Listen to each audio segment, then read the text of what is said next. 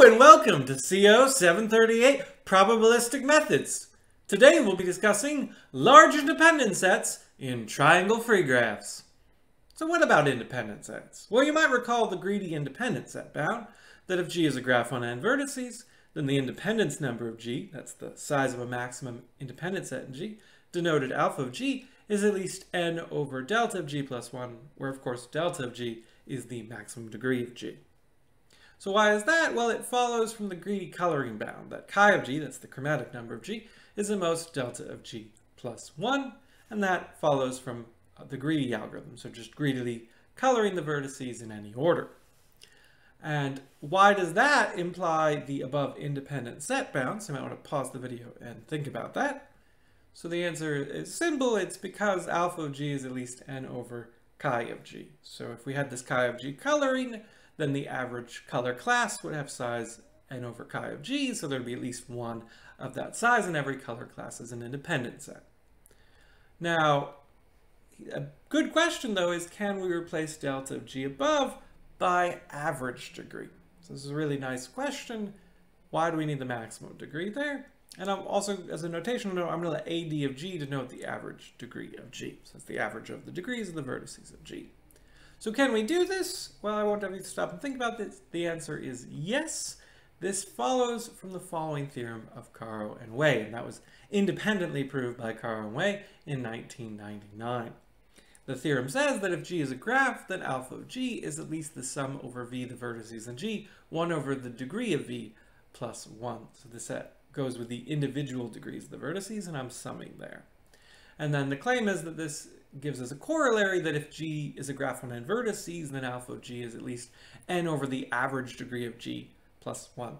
So why is this? Again, you might want to pause, stop the video, and think about why this follows. The answer is it follows from Caro-Wei since f of x equals 1 over x plus 1 is a convex function.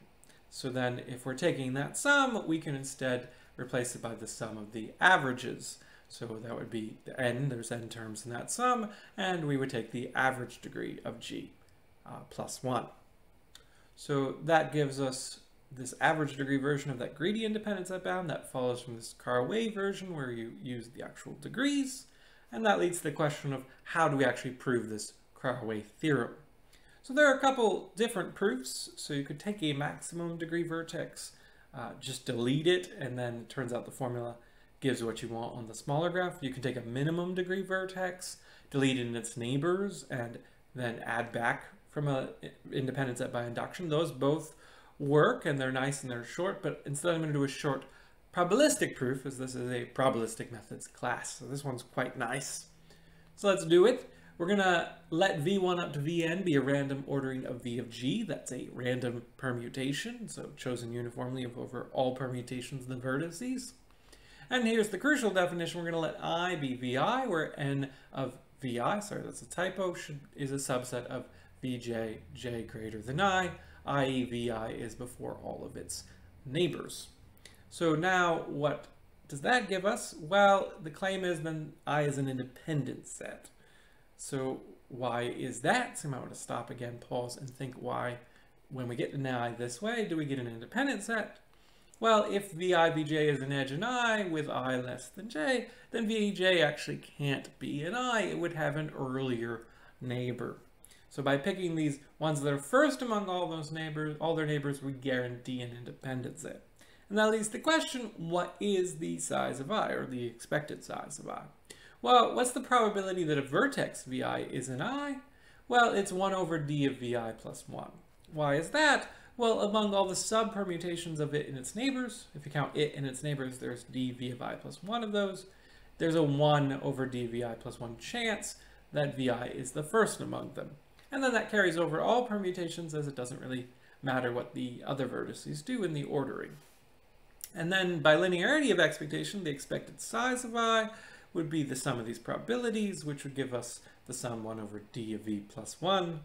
Uh, and then of course, there exists an I with I at least the expectation, and that's an independent set of large enough size as desired. So that's the proof of the Caro-Wei theorem, but intriguingly, it actually is related to Turán's theorem. So we talked about this last class. You might recall this theorem of Turán from 1941 that if G is KR free, then the number of edges of G is at most 1 minus 1 over R minus 1 n squared over 2. So why does this follow? Well, it's again a corollary of Caro-Wei.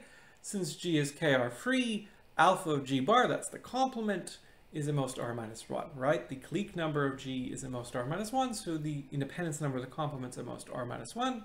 So we can apply Caro-Wei, or rather that corollary, to show that alpha of G bar is at least n over the average degree of the complement of G plus 1, which is equal to n over n minus the average degree. So why is that? Well, the degrees and the degrees and the complement sum to n minus 1, so the average degree of g bar is actually n minus 1 minus the average degree of g, and then those minus and plus 1s cancel.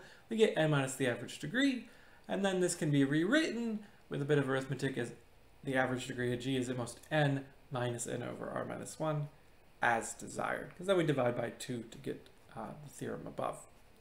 So that's the Turán's theorem where we're just looking at an upper bound, and again, Turán's is a classical theorem in the classical theorem really in extremal graph theory, showing how many, what's the maximum number of edges we can have in a KR-free graph. Uh, that's not the exact number, rather they're these Turán graphs, which are these complete R minus one partite graphs with roughly equal size that have been known. That's kind of the real full Turán's theorem to be the exact number. And indeed, with a bit more work, the proof of Caro-Wei implies the full Turán's theorem. So actually shows that the Turán ones are the optimal one. Why is that? It's because you would need a quality to hold throughout then. And what would that mean? Well, so it would mean the degrees would have to be roughly of equal size, first of all. But secondly, in that proof, when we were doing this independent set choice, it means there somehow can't be more than the expectation that we had derived. So this process should be actually always equal. And it turns out if you had uh, two neighbors that were not adjacent, you could actually get some chance uh, that they would both appear first, and, and then this uh, ends up saying that the expectation we did was an underestimate, and so it's not tight. So altogether, we won't go through those details, but it would show that the complement would actually have to be the disjoint union of R minus 1 cliques of roughly equal size, which is the complement of the Turán graph. So that's how you would derive Turán. So there's a nice connection between these Caro-Wei, these average degree bounds, and extremal graph theory. But we wanted to turn our attention toward the question of triangle free graphs. So can we do better than these greedy bounds if G is triangle free? So that's a good question, and the answer is yes. There's a theorem of Ajtai, Komlos, and Szemeredi from 1980 that says if G is triangle free with maximum degree delta, delta at least one here, then alpha of g is at least omega n log delta over delta. And that's the natural log there. Uh, it doesn't really matter since it's up to constant. So that's quite nice. We can get this somewhat extra log factor, log delta factor, more than that greedy bound. Now, I will say that Shearer in 1983 improved the constant to 1 minus little of 1. That's with that natural log, though. Uh, 1 minus little of 1, which is very good. So it's actually known uh, that you know, you can't do too much better, but uh, Shearer's definitely improves the constant a lot. That it Ajtai Komlos and Szemeredi did not really try to optimize, but Shearer's has is a really nice proof. And more than that, Shearer actually proved the following. He proved that if G is triangle free with average degree, let's call it D, little d there, at least 1, then alpha of G is at least 1 minus the low of 1 n log D over D. So actually you can get an average degree version of his theorem and, and of, therefore of the Ajtai Komlos Szemeredi theorem. So this improves on that the Caro-Wei bound, again, if we're triangle free. So that's a really nice theorem and it has a really nice proof. The proof is elegant and it's short, yet it's a bit finicky. So we're not going to be doing this today uh, because, again, it uses differential equations and parameters and doesn't give you a lot of intuition as to why it ends up working. So instead, we're opting to follow along and prove the following. We're going to show if G is triangle free with maximum degree D at least 1, then alpha of G is at least n log D over 8D, and that log is base 2, not the natural log. So this would give us a version of the Ajtai Komlos Szemeredi, better constant actually than they had. Uh, it doesn't quite get us to Shearer's, but, and again, we're assuming maximum degree, but this is, again, for the purposes, it might not be in a way a shorter proof, it's about the same, but it maybe will be slightly easier to understand and conceptually simpler. So how we're going to do this is going to take a number of slides. Let's begin uh, the proof. So for d less than 16, I'll just note that this follows from that trivial bound that alpha of g is at least n over d plus 1. So you can just do out the arithmetic there. If we know if it's at least n over d plus 1, you can check for d less than 16, that's at least n log d over 8d. And so we may assume d is at least 16. And now here's the key thing. We're going to let w be a random independent set chosen uniformly among all independent sets of g. So this is a bit strange of a probabilistic setup. We're having w be this random independent set chosen uniformly among all independent sets of g. Why is that strange? Because we don't really have a grasp of what the independent sets are, right? G is just some triangle free graph. So somehow I'm randomly choosing from the set, and there could be very many of them. So it might be hard to enumerate such a probabilistic space there, but again, this is not for algorithmic purposes here. We're just doing it as an existence proof. So this is a fair setup for the probabilistic space. Now, where do we go from there? Well, we're going to define a key variable. So for every vertex v in v of g, we're going to define a random variable xv, which will be d times the size of v intersect w plus n of v intersect w.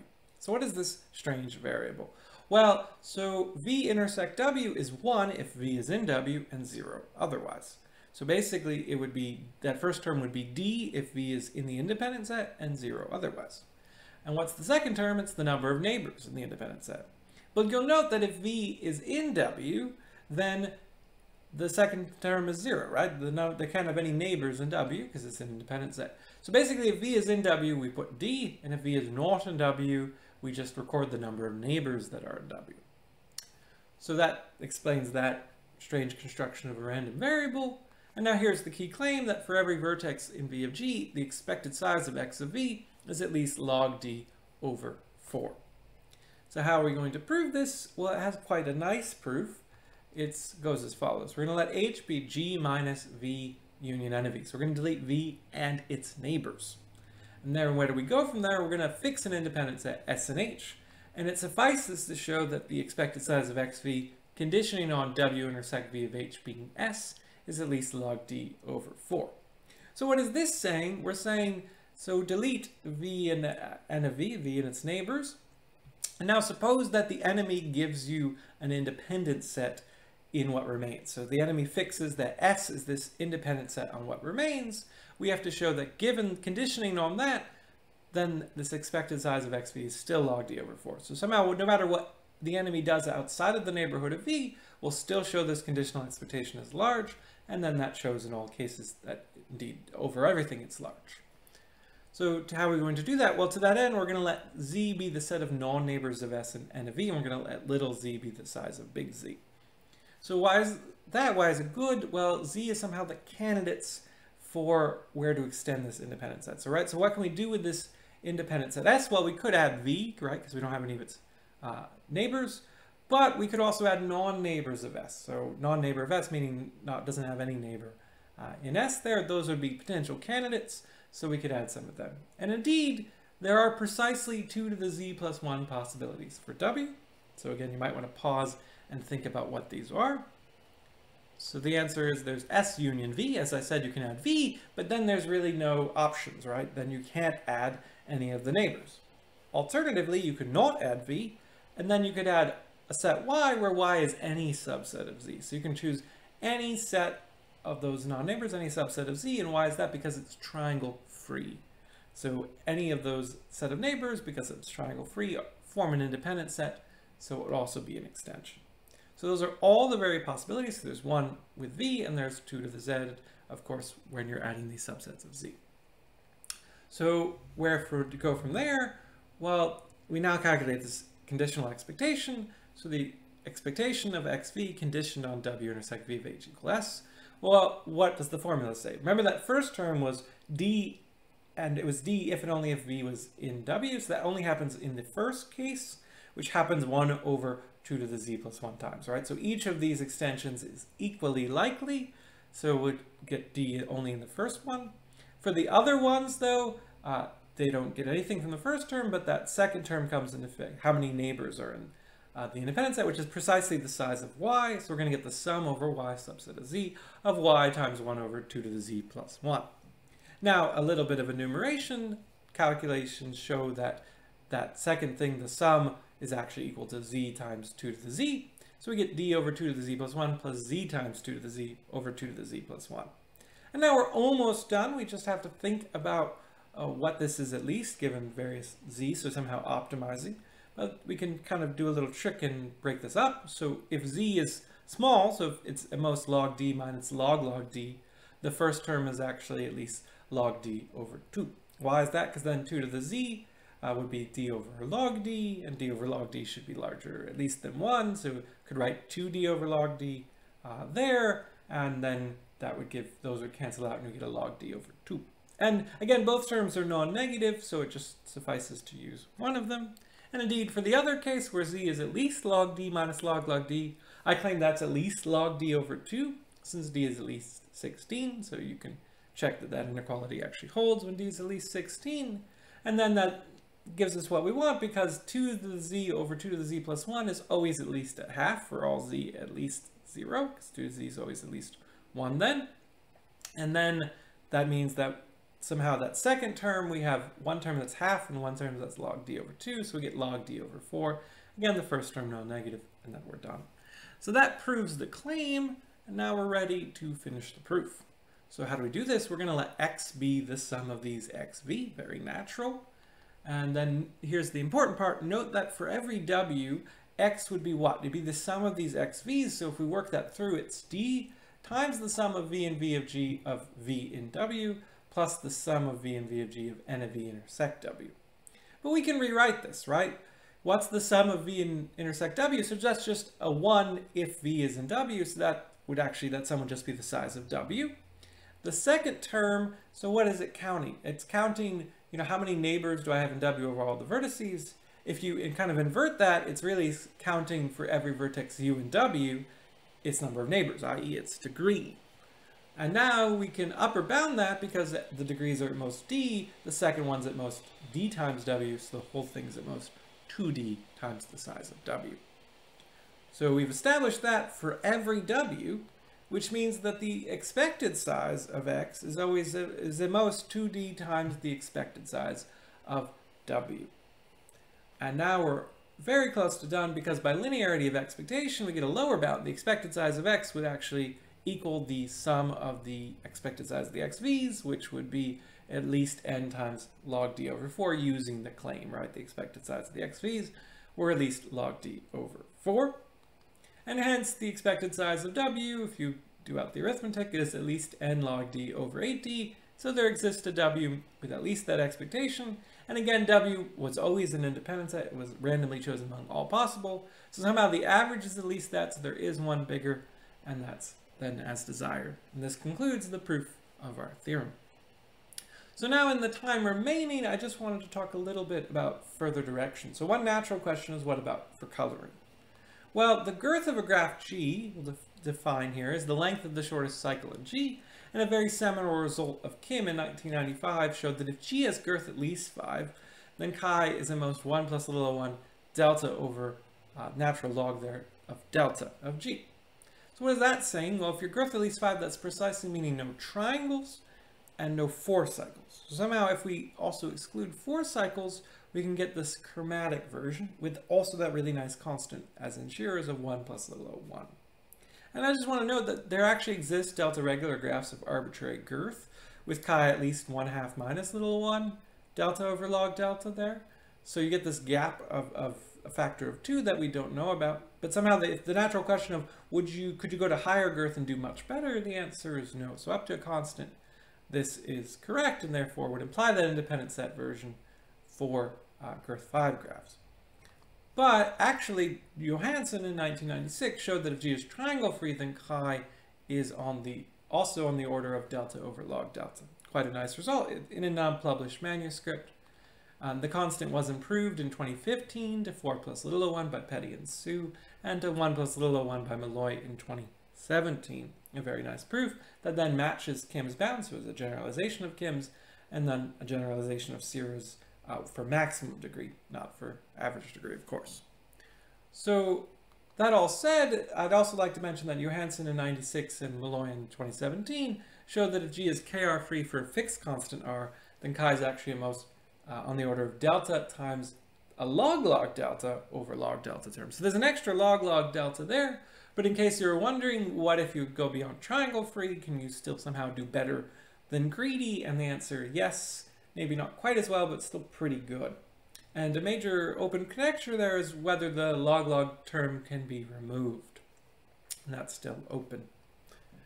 All right, now let's turn to our last topic here, which is Ramsey theory.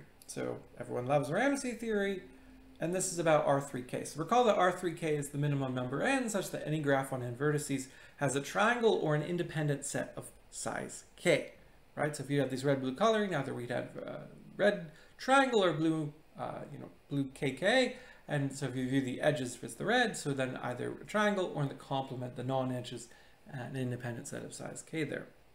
So that's R3K, and it's quite natural if you're not looking at diagonal ones. Some have the first non-trivial, hard to understand one. So what is R3K? Well, a corollary of what we've done today from Ajtai, Komlos, and Szemeredi in 1980 is that R3K is on the order of, uh, is at most k squared over log k. So this is an upper bound on that Ramsey number. So that was why everyone really loved that result. It was a big breakthrough that R3K was at most this k squared over log k. And then impressively, Kim in 95 showed a matching lower bound, so that it's omega k squared over log k. And hence we know that R3K is actually theta it's on the exact order of k squared over log k when you combine these results. Now that is the same Kim as before, but th that version is actually a probabilistic construction because it's a lower bound, and so many pages and we don't have time to do that. But very nice results. Now let me show you how the corollary follows from what we've done. So proof of the corollary, let G be a triangle free graph on 8k squared over log k vertices. Case one is that delta of G is at least k.